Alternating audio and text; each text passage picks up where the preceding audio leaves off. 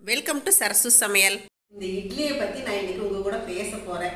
ஆனா இந்த இட்லி வந்து ஒரு சிலருக்கு வந்து நல்லா சாஃப்டா வரும். ஒரு சிலருக்கு வந்து நல்லா கல்லு மாதிரி போயிடும் ஒரு சிலருக்கு வந்து குழப்பலான்னு போயிடும் ஆனா நிறைய வித்தியாசங்கள் இருக்குங்க இட்லியில. அது வந்து எப்படி நம்ம மாவு ஊற வச்சு அது எப்படி கரைச்சு அது எப்படி ஊத்துறது எப்படி எடுக்கிறது எல்லாமே நான் உங்களுக்கு சொல்லி கொடுக்குறேன். நான் இப்ப இட்லி தான் எங்களுக்கு நைட்டு டின்னருக்கு நான் இட்லி தான் ஊத்த போறேன். நான் உங்ககிட்ட ஊத்தியேவும் காட்டிடுறேங்க ச- இன்னைக்கு அதை ஊத்தி எடுத்து காட்டுறது வரைக்கும் நான் இன்னைக்கு உங்களுக்கு சொல்லி கொடுக்குறேங்க.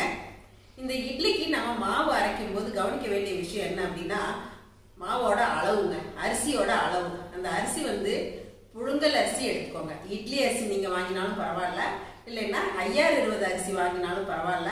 இந்த அரிசியை வாங்கிட்டு நம்ம வந்து ஒரு ரெண்டுல இருந்து மூணு மணி நேரம் ஊற வச்சா போதுங்க. நான்லாம் வந்து ஒரு மணி நேரம் தான் ஊற வைப்பேன். இட்லிக்கு அரிசியை ஒரே மணி நேரம் தான் ஊற வைப்பேன். நீங்கள் அதிகமாக ஊற வச்சு அதிக நேரம் ஊற வச்சு கொஞ்சம் சீக்கிரம் அரை பண்ணணும்னு நினச்சா ஒரு ரெண்டு மூணு மணி நேரம் ஊற வச்சிருங்க. அதுக்கு மேலே ஊற வச்சிடாதீங்க. அது வெயில் காலத்துல அதுக்கு மேலே ஊற வச்சிங்கன்னா இட்லி வந்து புளிச்சிரும். இந்த உளுந்தை வந்து கரெக்டாக இருபத்தஞ்சு நிமிஷம் மட்டும்தாங்க நான் ஊற வைப்பேன். இருபத்தஞ்சு நிமிஷம் இந்த உளுந்து ஊறுற டைம்ல அரிசியை ஊற போட்டுருவேன்.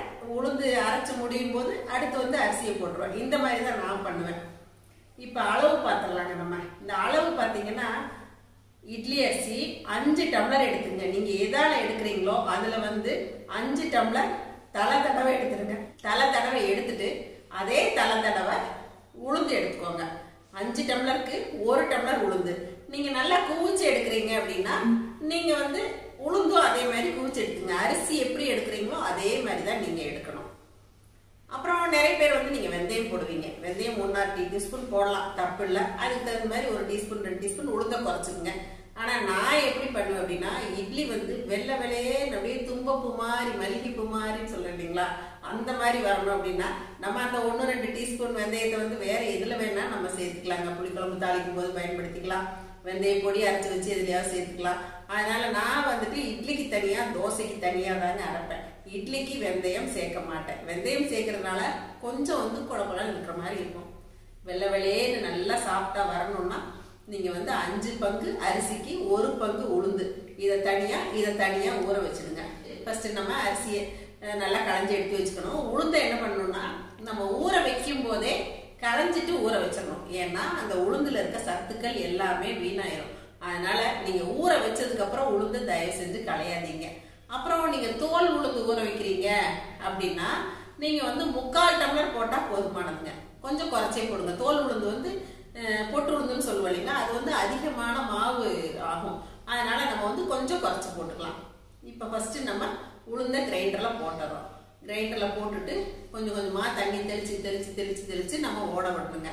நல்லா நைஸா அரையணும். அந்த நைஸா அரைகிறத நம்ம எப்படி பார்க்கணும் அப்படின்னா கரெக்டா வந்து முப்பத்தஞ்சு நிமிஷம் என்னுடைய கிரைண்டர்ல அரைவிடுங்க உளுந்து. அப்படியே அந்த மாவை கையில அள்ளும் போது அப்படியே காத்து மாதிரி பஞ்சு மாதிரின்னு சொல்லுவாங்க இல்லைங்க அந்த பக்குவம் வந்துடணும் லேசா இருக்கணும் வெயிட்லெஸ்ஸா இருக்கணும். அந்த மாதிரி இருக்கும்போது நீங்க அதை வந்து ஒரு பாத்திரத்தை வலிச்சு எடுத்துடணும் ஒரு பாத்திரத்துல. அதுக்கப்புறமா தான் நம்ம அரிசியை சேர்க்க போறோம். அரிசியை சேர்த்துட்டு அரிசிக்கும் அதே மாதிரி கொஞ்சம் கொஞ்சமா தண்ணி தெளிச்சு தெளிச்சு அரைச்சிக்கோங்க. ஒரு சிலர் என்ன பண்ணுவாங்க அப்படின்னா இட்லிக்கு வந்து கொரகொரப்பா தான் அரைப்பாங்க. இப்போ நாங்கள் ஊற்றி காட்டுற பாருங்க. நான் வந்து நைஸாக தான் அரைப்பேன். நீங்கள் நிறைய பேர் கேட்கலாம். என்னங்க ஆண்டி? அம்மா நீங்கள் இப்படி சொல்கிறீங்களே நைஸாக அரைக்க சொல்கிறீங்களே அப்படின்னு கேட்கலாம். எனக்கு கற்றுக் கொடுத்தவங்க வந்து நல்லா நைஸாக அரைக்கணும் அப்படின்னு தாங்க கற்றுக் கொடுத்தாங்க. அதனால நான் வந்து நல்லா நைஸா தேன் மாதிரின்னு சொல்லுவோம் இல்லைங்களா? இந்த சந்தகைக்கெல்லாம் அரைப்படலாம் ஊர்ல. அது மாதிரி நல்லா வளவளன்னு அரைச்சிருவேங்க நான். அந்த மாதிரி அரைச்சி எடுத்துட்டு இந்த உளுந்து வச்சிருக்க பாத்திரத்திலேயே நம்ம இந்த அரிசி மாவையும் எடுக்கணும். நல்ல மையாயிடணுங்க அந்த மாதிரி அரைச்சி எடுத்து ரெண்டையும் தேவையான அளவு நம்ம ஒரு படி போட்டால் ஒரு கைப்பிடி. அதுதான் உப்போட அளவு. அதாவது நான் சொல்றது கல் உப்பு. நீங்க தூள் உப்பா இருந்தால் அதுக்கு தகுந்த மாதிரி நீங்க போட்டுக்கோங்க. இதை போட்டுட்டு நம்ம கிரைண்டர் கழுவிட்டு தண்ணியை பக்கத்துல வச்சுக்கணும். தண்ணியை பக்கத்துல வச்சுக்கிட்டு ஒரு கப் அளவுக்கு வச்சுக்கிட்டு கொஞ்சம் கெட்டியான தண்ணி இருக்குங்களா? ஃபர்ஸ்ட் கிரைண்டர் கழுவுற தண்ணி. அந்த தண்ணி குழம்புழப்பா இருக்கிற தண்ணியை மட்டும் எடுத்து வச்சுக்கோங்க. அப்புறம் நம்ம வாஷ் பண்ணிடலாம். அந்த தண்ணியை பக்கத்தில் வச்சுட்டு அரிசி உளுந்து ஒன்றா கலந்து பாத்திரத்தில் வச்சுருக்கிறதுல கொஞ்சமாக தண்ணியை விட்டுட்டு நம்ம உப்பு போட்டிருக்கோம் இல்லைங்களா ஆல்ரெடி அதை போட்டு நல்லா கை விட்டு கரைக்கணும். மரண்டியில கரைக்கக்கூடாதுங்க. நம்ம கை கை விட்டு தான் இட்லிக்கும் தோசைக்கும் கரைக்கணுங்க. அப்போ தான் வந்து அந்த இட்லி தோசை நல்லா இருக்குங்க. அது மாதிரி நல்லா கை விட்டு ஃபர்ஸ்ட் நம்ம நல்லா கரைச்சிக்கணுங்க. நம்ம கரைச்சி பார்க்கும்போதே நமக்கு வந்து அந்த மாவோட பக்குவம் தெரியும். ரொம்ப அப்படியே கல் மாதிரி இருந்துச்சு அப்படின்னா கெட்டியா கெட்டியான பக்குவம் இருந்துச்சு அப்படின்னா மறுபடியும் கொஞ்சமா தண்ணி விட்டுங்க. அப்படியே எடுத்து விட்டா கொஞ்சம் தோசை மாவு பதத்துக்கு முன்னாடி பதம்னு சொல்லுவாங்க இல்லைங்களா? அந்த பதத்துல நம்ம நல்லா கரைச்சி எடுத்துக்கணும் நல்லா கீழே இருந்து நம்ம கரைச்சிக்கணுங்க. கீழே வந்து அரிசி மாவு தங்கிரும். அதனால நம்ம கீழே இருந்து கையை விட்டு நல்லா கரைச்சிக்கணுங்க. கரைக்கிறதே வந்து ஒரு மூணு நாலு நிமிஷம் நம்ம நல்லா கரைச்சிக்கணுங்க. தேவைக்கு நம்ம கொஞ்சம் கொஞ்சமாக கொஞ்சம் கொஞ்சமாக தண்ணி விட்டு கரைச்சி இட்லி மாவு பதத்துக்கு நம்ம கரைச்சி எடுத்து வச்சுக்கணுங்க. இந்த மாவு வந்து ஒரு ரெண்டு மூணு நாள் நாலு நாள் கூட இட்லி நல்லா இருக்கும் அப்புறம் கீழே பார்த்தீங்கன்னா கொஞ்சம் அரிசி மாவு இருக்கிற மாதிரி இருக்கும். அப்போ வந்து நம்ம தோசைக்கு அரைச்சி வச்சிருப்போம் இல்லைங்களா? நீங்கள் தோசைக்கு தரீங்க தனியாக அரைக்கிற மாதிரி இருந்தால் சொல்கிறேன் அப்போ வந்து நம்ம அந்த நீர்த்து இருக்கிற மாவை வந்து நம்ம தோசை மாவோட கலக்கி வச்சிடலாம்.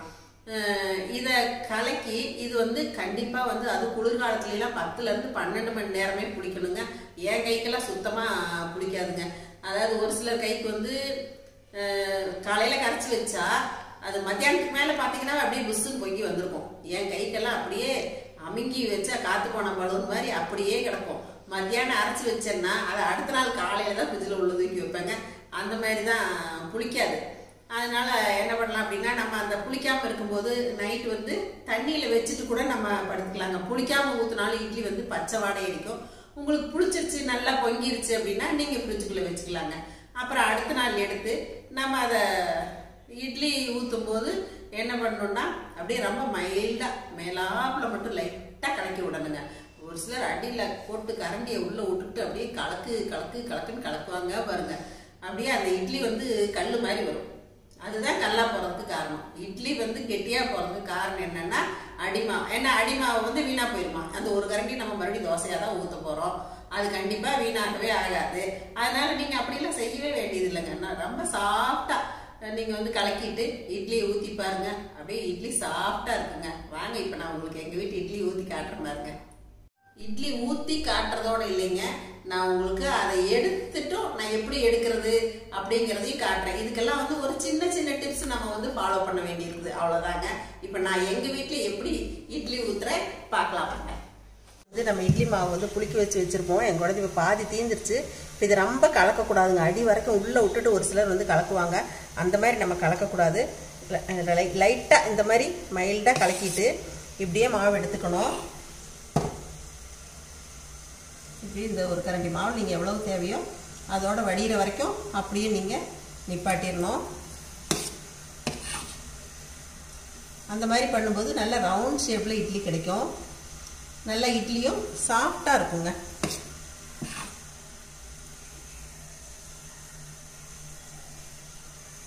கொஞ்சம் பொறுமையாக ஊற்றணுங்க இட்லியெல்லாம் ஊற்றும்போது பாருங்கள் நான் இந்த மாதிரி ஒரு ஒரு தடவை லைட்டாக இந்த மாதிரி கலக்கி தான் நான் எடுக்கிறேன். பாருங்க நம்மளோட இட்லிகள் எல்லாமே ஊற்றியாச்சு இப்போ இது மூடி போட்டுடலாங்க. வேகட்டும் நான் உங்களுக்கு இப்போ நான் எடுக்கிறதையுமே நான் உங்களுக்கு காட்டிடுறேங்க. பாருங்க நம்ம ஊற்றி வச்ச இட்லி வெந்துருச்சு. தண்ணி தெளிச்சுக்கலாம் ஓரத்துல எல்லாம். எடுக்கும்போது அடுப்பை குறைச்சிக்குங்க. கையில் வந்து ஆவி அடிச்சிடும்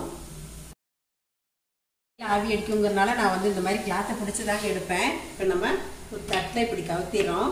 நம்ம மறுபடியும் இந்த துணியில் வந்து தண்ணி தெளிச்சுக்கணுங்க. நம்ம இந்த மாதிரி தண்ணி தெளிச்சுட்டு எடுக்கும்போது துணியில் வந்து ஒட்டவே ஒட்டாதுங்க. சூப்பராக இட்லி வந்துடும் எடுக்கிறதுக்கு நம்ம வந்து சிரமப்படவே வேண்டாம். இப்போ பாருங்க மெது மெது சாஃப்ட் மல்லிகைப்பூ இட்லி ரெடிங்க என்னங்க இப்ப நான் ஊத்தி காட்டினேன் இல்லைங்களா? எப்படி இருந்துச்சு? அப்படியே வெள்ளை வெள்ளையேன்னு நான் சொன்ன மாதிரி தும்பப்பூ மாதிரி மல்லிகைப்பூ மாதிரி இருந்துச்சு. ஒத்துக்கிறீங்களா நீங்க? அப்படியே சாஃப்டா இருக்குங்க. எங்க வீட்டு இட்லி வந்து எல்லாருக்குமே எங்க ரிலேஷன்ஸ்ல இருந்து எங்க வீட்டுக்கு வரவங்க எல்லாருமே எங்க வீட்டு இட்லி ரொம்ப பிடிக்குங்க. எனக்கும் இட்லி ரொம்ப பிடிக்கும். இட்லினா எனக்கு அவ்வளோ உயிருங்க. அதனால நான் இட்லிக்கு ரொம்ப முக்கியத்துவம் கொடுப்பேங்க. இந்த மாதிரி இட்லி ஊத்தி கொடுத்தீங்கன்னா குழந்தைங்க என்னங்க? பெரியவங்க எல்லாம் வந்து குழந்தைங்க மாதிரி தான் ரெண்டு இட்லி சாப்பிட்றவங்க நாலு இட்லி சாப்பிடுவாங்க. குழந்தைங்களுக்குலாம் ஆரோக்கியமா சின்ன வயசுல இருந்தே நீங்க கொடுத்து பழக்குங்க. நீங்களும் இந்த மாதிரி எல்லாம் ட்ரை பண்ணி பாருங்க. பாருங்க இந்த மாதிரி பளிச்சுன்னு வெள்ளை வெள்ளையே சாப்பிட்டு இட்லி ஊற்றி அதுக்கு ஒரு குருமா வச்சு சாப்பிட்டா சும்மா செமையாக இருக்குங்க. இந்த இட்லிக்கு வந்து தக்காளி சட்னி நல்லாயிருக்கும் தேங்காய் சட்னி நல்லாயிருக்கும் கடலை சட்னி நல்லாயிருக்கும் இட்லிக்கு மட்டும் எந்த சட்னியாக இருந்தாலும் ரொம்ப சூப்பராக இருக்குங்க. பாருங்கள் இப்போ நான் வந்து சாப்பிட வந்துட்டேன். வாங்க நீங்களும் என் கூட சாப்பிட்லாம். கண்டிப்பாக நீங்களும் இந்த மாதிரி இட்லி எல்லாம் ட்ரை பண்ணி பாருங்கள் இட்லி என்ன ட்ரை பண்ணுறதுன்னு கேட்குறீங்களா இந்த மாதிரி நீங்கள் அரைச்சி சுட்டு பாருங்கள் அருமையாக இருக்குங்க. மறுபடியும் உங்களை சந்திக்கிறேன். நன்றி வணக்கம். சரசு சமையல் பாருங்கள் சமையல் நல்லா பண்ணுங்கள்